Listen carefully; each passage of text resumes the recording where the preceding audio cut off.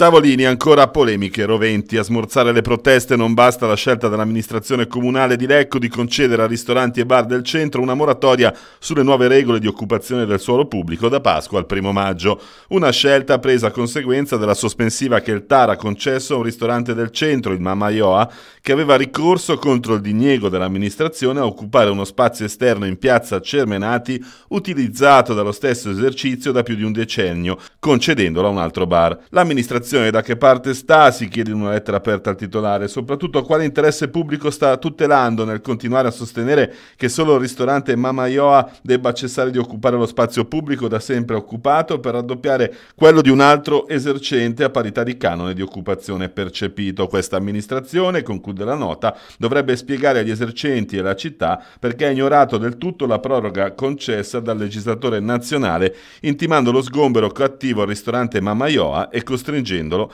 a ricorrere al TAR. Un pronunciamento, quest'ultimo, contro il quale l'assessore all'attrattività Giovanni Cattaneo ha annunciato di voler ricorrere al Consiglio di Stato per una questione di equità.